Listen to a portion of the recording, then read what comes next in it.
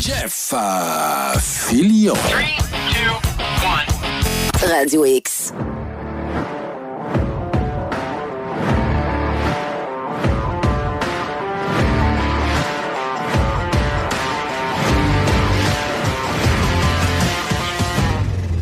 Dans Jeff Liberté, on a notre chum Frank, le dédomiseur. Yes. C'est notre tête pensante.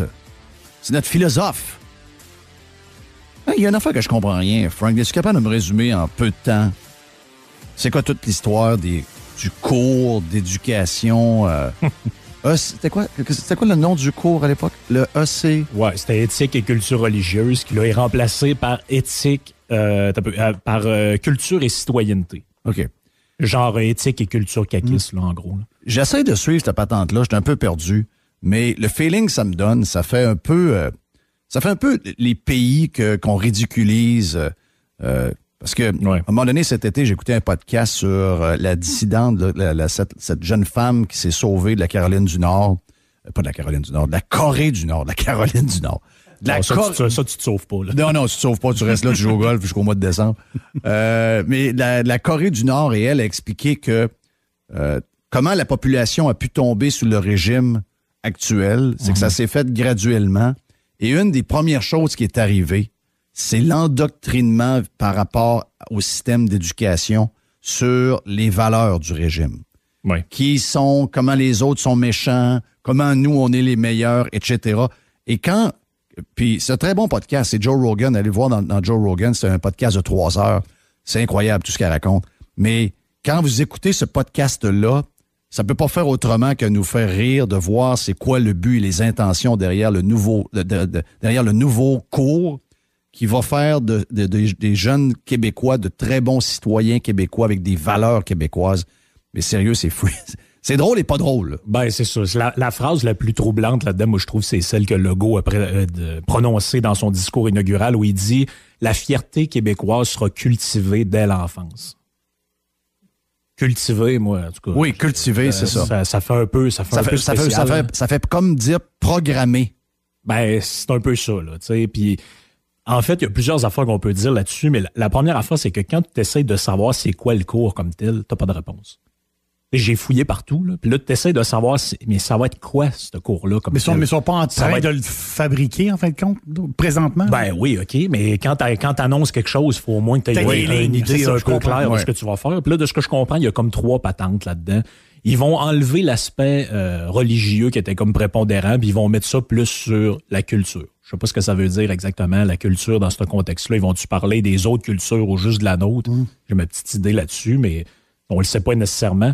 Et après ça, ils disent euh, le but, c'est de, de, de programmer, pas de programmer, mais de, de faire en sorte que les jeunes, là, ils vont être prêts pour être des, des citoyens québécois. Ça non plus, on sait pas trop ce que ça veut dire. Non. Puis après ça, c'est une autre réflexion qu'on peut avoir. Le rôle de l'école, est-ce que c'est de te préparer à être un citoyen? Je le sais pas, là. C'est quoi le but de l'école, dans le fond? Parce que c'est ça, maintenant, qu'il faut réfléchir au travers de ça. Le but de l'école, c'est de t'apprendre à lire, à écrire, à compter? Oui, ou c'est ça.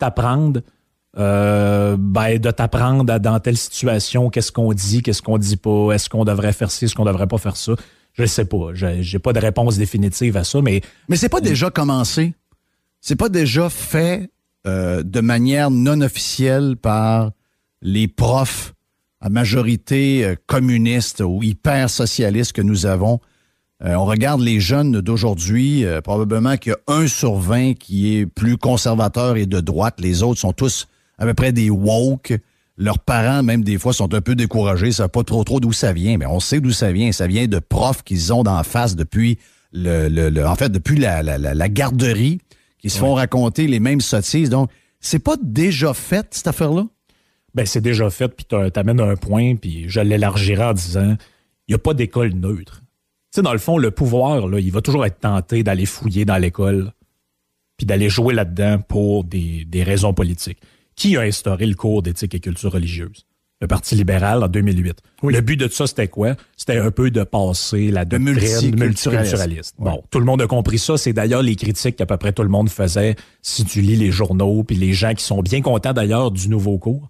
Mais pourquoi ils sont bien contents du nouveau cours? Parce qu'on passe d'une idéologie à une autre. On passe du multiculturalisme au nationalisme québécois. Puis ça, ça fait leur affaire. Mais en réalité, on passe pas d'une école idéologique à une école neutre. On passe d'une idéologie à une autre. Une, idéologie à une autre, pour ne pas dire d'une religion à une autre. D'ailleurs, c'est même Roberge qui le dit là-dedans. Il dit le cours d'éthique et culture religieuse, il y avait un biais là, comme quoi la religion, c'est vraiment important dans la vie. Mais nous autres, on va, euh, on va enlever ce biais-là, puis on va montrer que, dans le fond, ce qui est important, c'est les valeurs québécoises.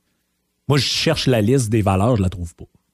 Je sais pas vous autres si vous savez c'est quoi les valeurs québécoises. Puis là, lui, il en donne quelques-unes. Il dit ben euh, le respect, euh, l'égalité entre les gens. Ouais, mais ça, c'est pas le Québec, c'est pas mal l'humanité. C'est les valeurs universelles. Le respect, c'est pas mal dans la Bible aussi. Là, je sais pas, moi, le respect, pour moi, c'est comme une valeur. Euh, une valeur le respect, ça, ça, vient aussi, c'est une job de parent. Là. Ben, le, le, respect, ça a été. Moi, c'est, ça se passe dans la maison. Là. Ça se passe jeune, jeune, jeune dans la maison. Tu t'apprends à respecter l'autorité, tu apprends à respecter euh, un paquet d'affaires, tu fais du sport. À un moment donné, tu bougonnes avec ton coach, ton père t'explique que le coach, c'est lui qui est là, puis toi, tu es en dessous, tu fermes ta boîte. Donc, il euh, y a le respect, en principe, c'est des valeurs qui doivent arriver dans la maison. Là. Ben oui. Je vais dire, ça aussi, c'est un autre bon point, c'est que, en fait, on dirait que les parents aujourd'hui, puis garde, je suis pas, euh, je suis pas très bien placé pour le, pour le dire. Moi, j'en ai pas d'enfants. Mais ce que je constate, puis qu'on on, constate, c'est qu'on dirait que les gens, ils veulent que leurs enfants soient pris en charge par l'école. Puis, tu sais, ben, c'est maintenant la job de l'école de donner des valeurs aux enfants. tu te dis, attends un peu, là. Non. moi, il me semble que quand j'étais enfant, mes parents, ils essayaient de m'éduquer, essayaient de m'inculquer certaines, tu sais, c'est important de travailler. Euh, quand tu t'engages dans quelque chose, tu vas jusqu'au bout. Tu sais, ce genre d'affaires-là, je pense que tout le monde qui écoute s'est déjà fait dire ça par ses parents à un moment ou à un autre. Euh, tu sais, traite les autres comme tu devrais te faire traiter toi-même. Ce genre de truc-là, c'est que n'importe qui peut comprendre assez facilement. En bon québécois, savoir vivre. Savoir, exactement. La politesse. Mais là, tu sais, le, le... Puis en plus, je veux dire, le cours, là, c'est vraiment une espèce de bouillabaisse, là, complètement, euh, complètement pété, où on va parler des valeurs québécoises, de la culture, de la religion, de la sexualité, euh, des changements climatiques, à un moment donné, tu te dis, euh, mais c'est qui qui va le donner, ce cours-là? Oui. Parce que, tu sais, quand, quand, tu vas à l'université pour apprendre à devenir professeur, Jerry, je pense que tu le sais, dans ton entourage, il y en a. Oui. Euh, si tu te destines pour être prof d'anglais, ben, tu fais un bac en enseignement de l'anglais. Si tu te destines à être prof d'histoire, tu te fais un bac en euh, société et pas tant de choses. Mais ben, qui va faire, il va-tu quelqu'un, y a-tu quelqu'un qui va faire ce nouveau cours-là où tu vas apprendre toutes les religions, les cultures du monde, la sexualité, c'est quoi ce cours-là? Qui va être capable de donner ça? L'histoire du racisme. Ben oui, il y a, des, il y a, ça. Là. Euh, oui, puis oublie pas qu'en plus, là-dedans, ça n'a sûrement aucun lien avec l'actualité, mais il y a toutes sortes d'histoires sur la culture autochtone aussi.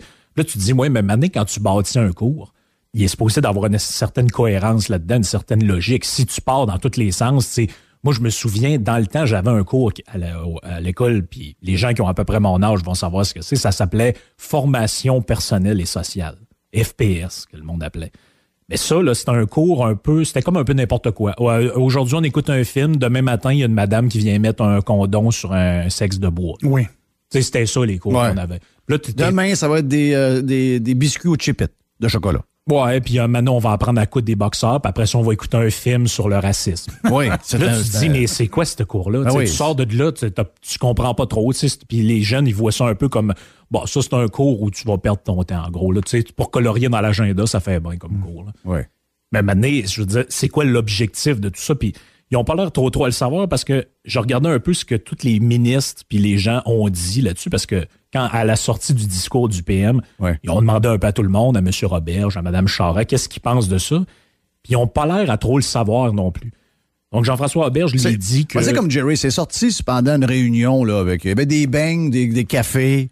Ben, ils se sont dit, qu'est-ce qu'on pourrait faire là, pour essayer de. D'aucuns diraient que c'est un peu napkinien. Comme, oui, euh, c'est ça. projet de loi, là. Ben, comme euh, projet de cours. Donc, euh, Jean-François Roberge lui dit que c'est pour parler des valeurs. Euh, Isabelle Charret dit que c'est pour enseigner les rapports égalitaires, l'empathie, l'affirmation de soi et pour euh, lutter contre des phénomènes ignobles comme la violence faite aux femmes. Geneviève Guilbeault dit que c'est pour permettre aux jeunes de vibrer au rythme de notre culture et s'approprier le génie créatif québécois. Nathalie Roy, elle, a dit c'est pour apprendre aux gens à vivre ensemble. Euh, Benoît Charette, lui, dit que euh, ça va nous rapprocher entre les nations autochtones et euh, les Québécois francophones, ben si on veut.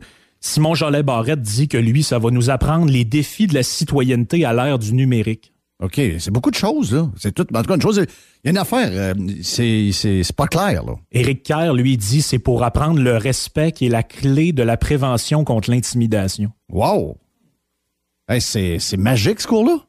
Ah oui, oui, regarde, c'est comme, euh, c'est comme un, c'est ça, je te dis, c'est comme une espèce de potion magique. On sac le jeune là-dedans, puis euh, il va, il va comme à- apprendre à régler Mais on oublie, on oublie qui les donne, là. On oublie qui donne le cours, là.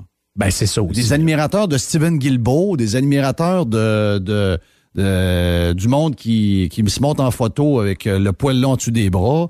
Euh, un autre qui tripe sur Sol Zanetti. Je veux dire, on oublie aussi qui donne ces cours-là. Ça, ça va être... euh, Et oublie pas l'aspect très important, ça, ça m'a quand même fait rire, que c'est le but de tout ça est d'enseigner aux jeunes la pensée critique. Ouais, ben oui, ça va être très, très, très critique. Ben, il, va ça va être- il va y avoir beaucoup de débats. Oui, puis Ouais, pendant oui. 90% du cours, voici ce qu'est un bon Québécois et nos valeurs. Après, euh, la pensée critique. Oui, ça va être beaucoup permis de remettre en, compte- en, en cause ce qui a été dit avant. On, on s'imagine tous, on a tous compris. De par ta formation, tu es capable un peu de, de, de, de répondre à la question que... Mettons que tu es, celui qui, qui conçoit ce cours-là. C'est quoi être un bon Québécois?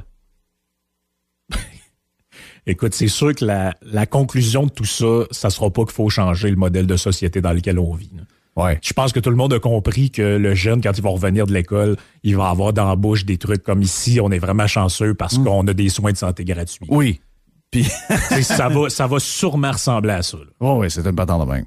Puis euh, ici, on est une société qui est à l'avant-garde des autres. Puis euh, nous autres, on, nous, aux États-Unis, on a des problèmes de racisme systémique, mais ici, on a toujours vécu en paix Oui. et en amour avec Oui. les Premières Nations. Donc, pour se Oui. flatter. C'est une présente pour se flatter. Là. Ouais, c'est ça, parce que lui, il, pour est se en- il est en flatter. déni face à l'histoire autochtone. là. Ben oui, puis ça ressemble, au- on dirait que ça ressemble un peu à, tu sais, le premier ministre est autour d'une table avec ses, son cabinet puis euh, les gens qui le conseillent. Puis là, ils font une liste de problèmes. Ouais, là, euh, ça brasse un peu avec les des Premières Nations. Euh, ouais, là, l'environnement, on se fait parler de ça tout le temps. Après ça, ouais, là, ça a l'air que dans les campus, il y a des filles qui se font euh, brasser un peu par des gars. Là, ils font une checklist. Puis là, il dit, tiens, arrange-moi un cours avec Oui, ça c'est ça. Ouais. arrange-moi un cours là où on va dire aux petits gars que tu sais euh, s'il y a pas de oui c'est non euh, qu'on va parler un peu des autochtones puis qu'on va parler de de ah tiens puis mets les valeurs québécoises là-dedans aussi là. puis en même temps on se le cachera pas le but de tout ça c'est un peu de faire plaisir aux gens des médias qui depuis toujours en ont contre le cours éthique religieuse. D'ailleurs, on se demande s'ils savent vraiment ce qu'il y a là-dedans. Moi, je connais des toi, gens... tu parles des membres des médias, maintenant euh, membres d'une genre de religion pro-confinement, COVID, pas tant de choses. là, Oui, mais exactement. qui sont contre les religions? Oui, oui, oui, oui, oui. Absolument. C'est bourré de contradictions, tout ça. Hein? C'est dur à suivre en roi le vert, excuse-moi. là. C'est capoté comme place. que- Mais, mais est-ce qu'on pourrait avoir un genre de cours? Je pense peut-être que l'idéal, je pense, d'avoir un genre de cours de philosophie. Tu sais, le, le cours plate qui est au cégep, la philosophie, mais quand même qui. Je comprends, là. Il y a des weirdos qui enseignent ça, là. Mais je veux dire, être capable de- d'exprimer notre pensée, être capable, c'est peut-être vers là qu'il faut aller. Dans le sens que ces jeunes-là, là, ils ont des idées, les exprimer et euh, Là, les, tu veux dire inculquer le débat. Voilà, inculquer le débat, être capable de, être capable de, de, de De faire comme ce que les Français font. voilà, être capable de, de dire ce que tu as dans ta tête et être capable de euh, d'avoir les arguments pour soutenir ça. OK, ben là, c'est le, le- la- ben là, t'as vu, le cours qu'on fait là, c'est pour tout l'inverse de ça. Là. Ben, c'est c'est tout ça. l'inverse de ça. Ben oui, là. mais c'est ça que j'allais dire. C'est parce que l'idée est très bonne. Moi, je souscris à ça n'importe quand. Le problème, c'est comment est-ce que tu implantes ça quand la première partie du cours, c'est voici quelle est la vérité.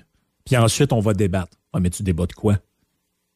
De quoi on va Non, débattre? De quoi on va débattre? Parce que toute la première partie du cours, c'est m'expliquer voici la vérité historique Oui, par oui. rapport à telle affaire. Voici quelles sont les valeurs québécoises. Mais est-ce que vous avez déjà été sondé, vous, pour savoir c'est quoi les valeurs du Québec? Moi, il n'y a jamais personne qui m'a demandé si j'étais d'accord avec telle affaire. Est-ce qu'ils vont montrer que les valeurs québécoises, c'est égal aussi des- une tonne d'échecs par- quasiment partout? D'après moi, ça, ça, ça risque d'être euh, occulté du programme. Ah, OK, OK. Ouais, D'après moi, ça va mettre l'accent sur les grandes réussites. OK. Mais là, ça, ça, ça prend un cours qui va être très long. Ben, c'est supposé d'être du primaire au secondaire. hein. J'adore. Thank you, Frank, le dédomiseur.